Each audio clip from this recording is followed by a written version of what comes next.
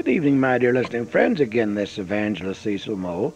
And as you know, I'm a converted alcoholic, gave my heart to Christ over 55 years ago in a pastor's home in Seattle, Washington.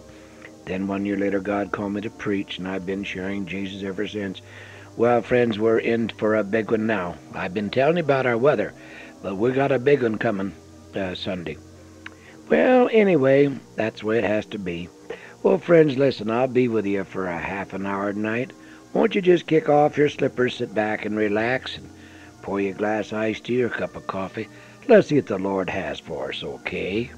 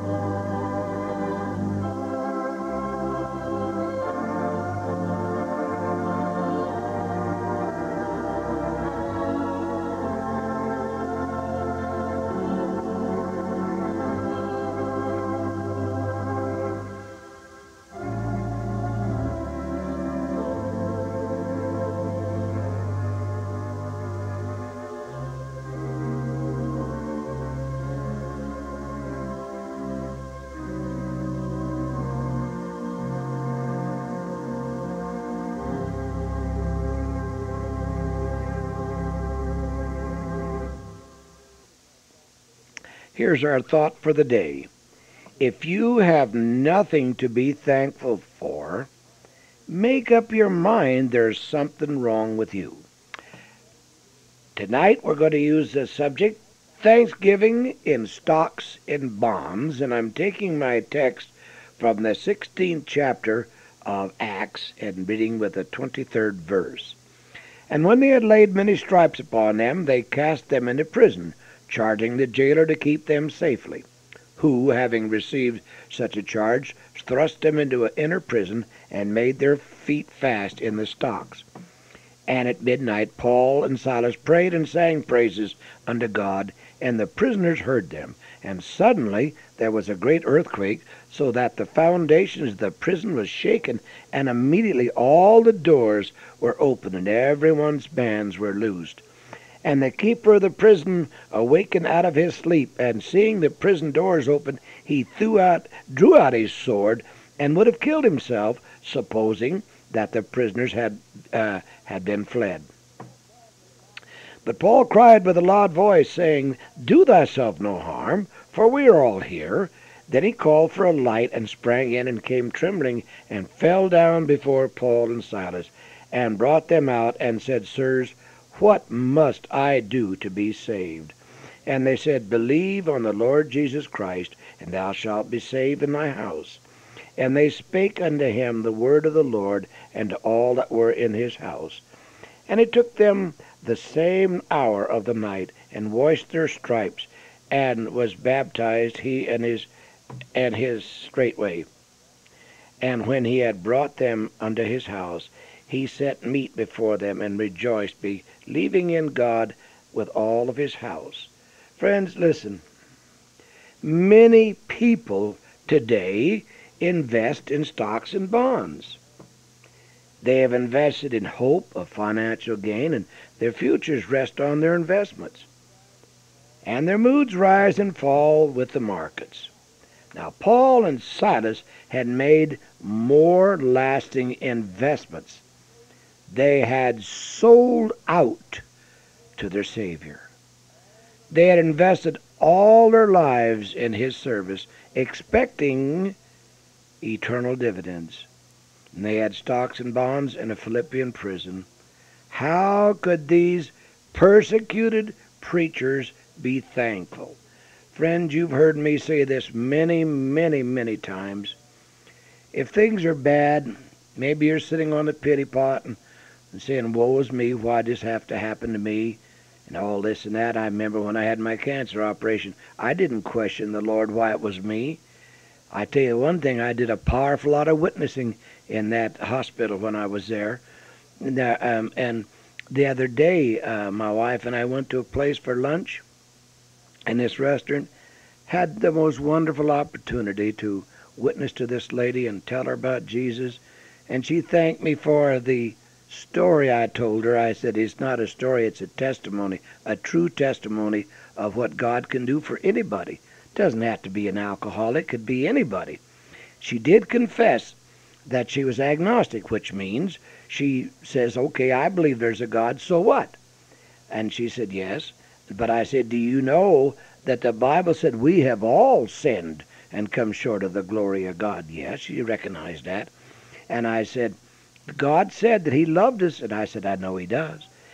When we, my wife and I, got ready to walk out, she gave me the biggest hug you ever saw in your life, right, right in the middle of that restaurant. But the people What's going on here? But listen, friends, if you're down in the dumps, things aren't going good, sit down, reevaluate your life, see where you're headed. What have you done for Jesus? Look what he's done for us. But what have we done for him? You know, there's that song, uh, Do you know Jesus or you just know about Jesus? I know Jesus.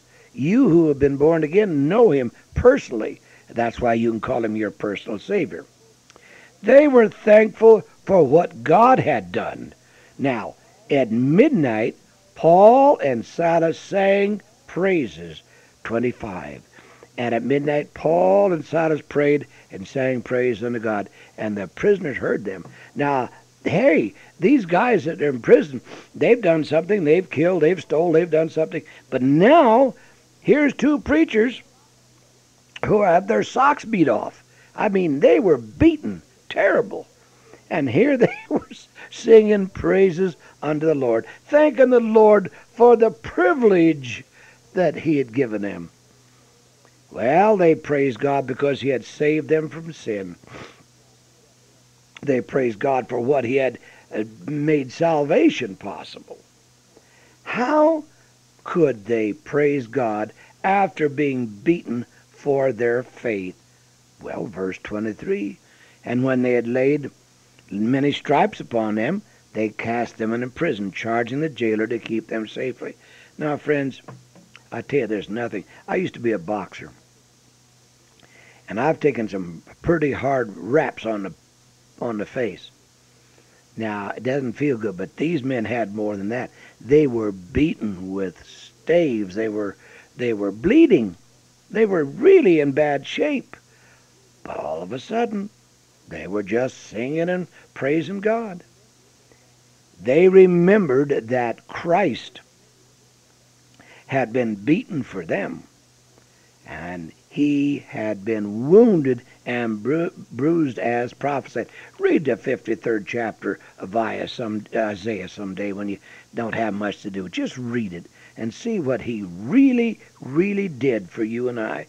You and I can't envision the pain of driving those spikes in his hands and his feet and putting that crown of thorns in his head. And he did it all because of one thing. He loved us. Oh, friends, don't that mean anything to you? Anybody would do that, for, yet he was sinless and without sin. Never did a nasty thing in his life. But he was taking your sins and my sins on him so that we might live forever. Boy, if you think about that, that'll charge your batteries. Well, like Jesus, they had been in prison for doing good. They might face death, but they remembered that Jesus had faced the cross.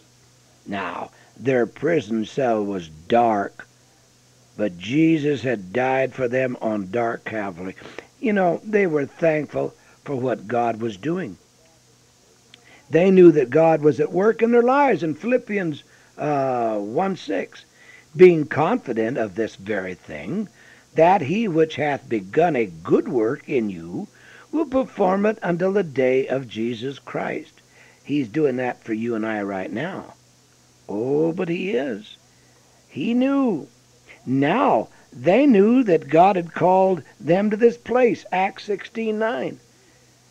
And a vision appeared to Paul in the night. There stood a man of Macedonia and prayed him, saying, Come over unto Macedonia and help us. Let me ask you this question. Did Paul go to the mission board and make applications for this? Did he ask for permission to go? No, he went. And so should we when we get our marching orders. Friends, I'm going to ask this to the Christians. Have you got your marching orders yet? Do you know what God wants for your life? I want that. do you know that? Well, if you don't, friends, you're really not very happy. God has a plan. He had a plan for your life. He's got a plan for my life. And I've said this so many times. That night I was laying in a federal prison in Fairbanks, Alaska for trying to beat up on a police officer and five different counts against me. I never dreamed within my wildest dream that I would ever know peace, that I'd ever know sobriety, that I'd ever be privileged to be on the radio for 40 some years preaching, TV, and, and all these things. That was a miracle. But God did it because He knew what I was going to do. He knows what you're going to do. Oh, friends, I'm so grateful. Oh, my stars am I grateful that that night, that day on that roof in Seattle when God called me to preach. I thought it was the most ridiculous thing I'd ever heard a dummy like Cecil Moe up preaching of Jesus to people. Well, it happened, and I praise his holy name. And uh, they had witnessed conversion as a result of being there. Verse 14. And a certain woman named Lydia, a seller of purple of the city of Thyatira, which worshipped God, heard us, whose heart the Lord opened, and she attended unto the things which were spoken of Paul. They had seen the demon possessed fortune teller delivered, verse 18. And this did she uh, many days, but Paul, being grieved, turned and said to the Spirit, I command you in the name of Jesus Christ to come out of her. And he came out of the same hour. Here was a demon possession, uh, possessed fortune teller. She was giving Paul and them a lot of trouble. But Paul called out that demon, and that was it. They could then be thankful, knowing that they were in God's will. Now, beloved, you've heard me say this so many, many times. The most happy Christians in the world are those that are seeking the divine will of God. Friends, we do things and they're not always right. I don't ever do all things right. And I wished I could tell you that I've always done what God asked me to do. I wished I could do that. I cannot do it. And I don't know of anybody on this world who can. But you start seeking the will of God and you're going to find joy unspeakable. Oh, my stars, I'm telling you, he's looking for rich people? No. Uh, educated people? Not necessarily. No, he's looking for surrendered, dedicated people. That's what Paul was. That's what Silas was. That's what Peter and all those men were.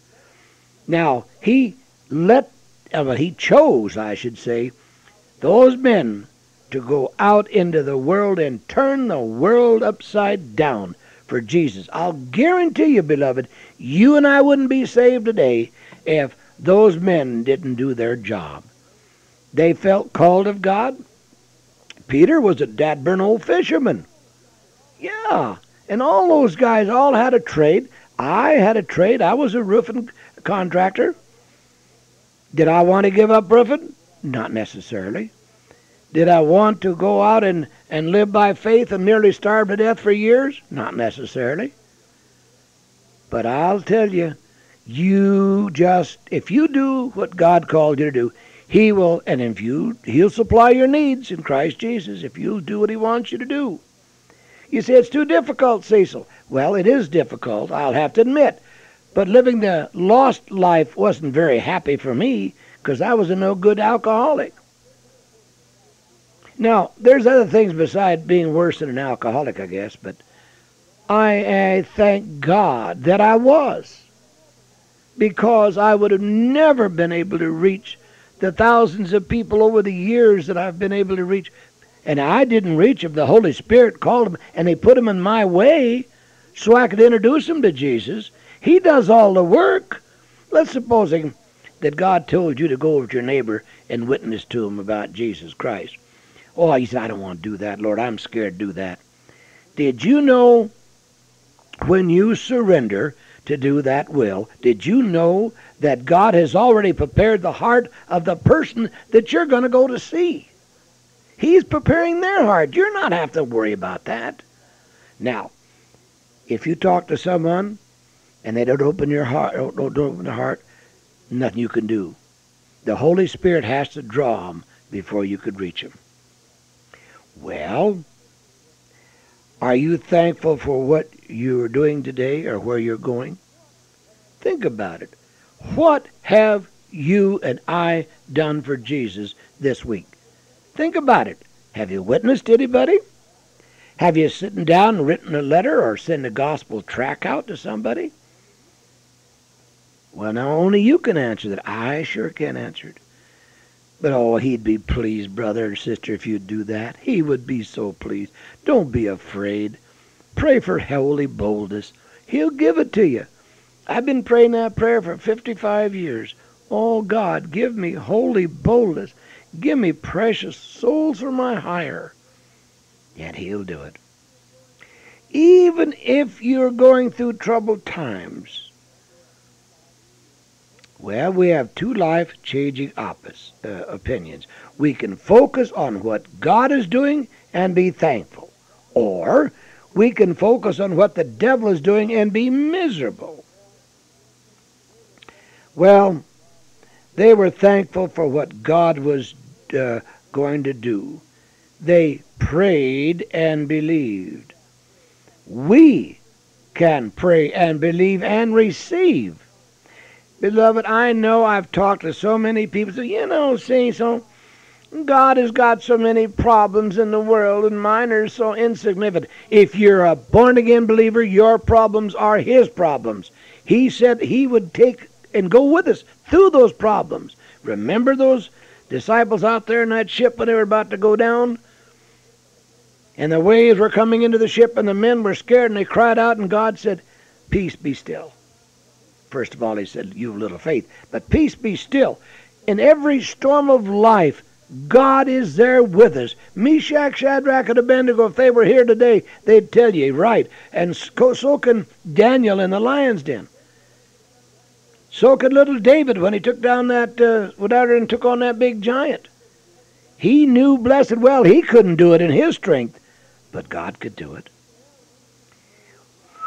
where we can pray and doubt and go without.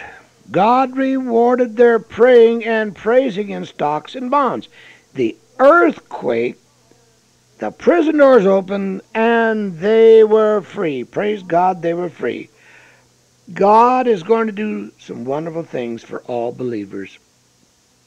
And Philippians 1:23, according to my earnest expectation and my hope that in nothing I shall be ashamed, but that with all boldness, as always, so now also Christ shall be magnified in my body, and whether it be my life, by life, or by death. For to me to live is Christ, and to die is gain. But if I live in the flesh, that is the fruit of my labor. Yet what I shall choose I want not well, friends, listen. How to thankful preachers brought others to Christ. How? Well, the jailer and his family came to faith in Christ, verse 27, and the keeper of the prison prison awakened out of his sleep, and seeing the prison doors open, he drew out his sword and would have killed himself, supposing that the prison had been had fled. But Paul cried out with a loud voice, saying, Do thyself no harm, for we are all here. Then he called for a light and sprang in and came trembling and fell before Paul and said, and brought them out and said, Sirs, what must I do to be saved? And they said, Believe on the Lord Jesus Christ, and thou shalt be saved in thy house. And they spake unto him the word of the Lord, and to all that were in this house. And he took them the same hour of the night, and washed their stripes, and was baptized, he and his all of his family. And when he had brought them out to his house, he sat meat before them, and rejoiced, believing God with all of his house. Christ also believed and met with Paul and Silas to rejoice. Verse 40. And they went out of the prison and entered into the house of Lydia, and when they had seen the brethren, they comforted them and departed. Thankful living can bring others to eternal life. Are you thankful, beloved, for what, for what God has done for you tonight? Let me ask you, are you trying to serve Him, or are you just kind of a, a nominal Christian? You go to church and you go to prayer meeting and, and all this, but are you? That's fine and that's good, but we're going beyond that. If you if that's all you got in Christianity, you haven't found the abundant life. Going and telling and sharing and giving is what Christianity is all about. Well, friends, let me ask you tonight. You say, well, Cecil, you know what? I'm not even a Christian. I, I believe in Christianity, but you know, you talked about a, a personal relationship. Yes, that's when you look up and say, God, I know that Jesus died for me, and I'm so sorry, and I want to know you. So if you want to pray that prayer tonight and you have a tugging at your old heart, bow your head with me right now, and, and I'll lead you in the sinner's prayer, the most powerful prayer known to man. And it goes like this. Kind Heavenly Father, in the very precious name of Jesus, oh Lord, I thank you for your life. Thank for what you did on Calvary. And I'm, I'm so sorry for my sins. And tonight, Lord, I'm opening my heart and receiving you as my Lord and Savior. In Jesus' name, amen. You prayed that prayer. Get on the phone and call 303 471 8534. I'll not use your name on the air. I'll not embarrass you. I won't sit down and write and ask you for any money. Don't care where you go to church. I just want to know that you're going to go to heaven. Get on the phone tonight and call 303-471-8534.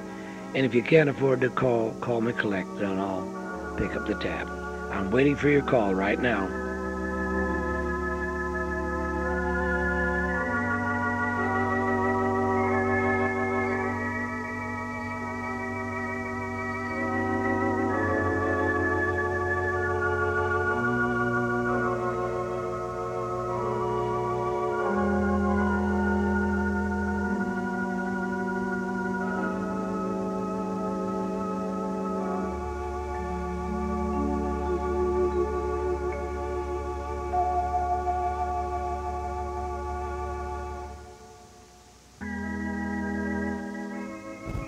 Well, friends, for the past half hour, your host has been Evangelist Cecil Moe. I want to thank you, dear friends, for listening, and I want want you to pray for me and my wife. We're having, you know, our health problems, but you know, I'll be 86 years old next week, and you know what? This past 86 years have flown pretty fast, especially the last 55 years that I've known Jesus. Well, pray for your country. Oh, pray that God will get our uh, Democrats and Republicans together and say, hey, we got to work for the country and not for ourselves.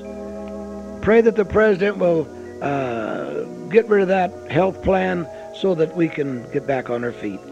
Well, friends, until this time next Sunday night, I want you to be good to your neighbors. Stay sweet. Keep looking up. For this wonderful, wonderful Jesus is coming soon. Good night, and may God bless you real, real good.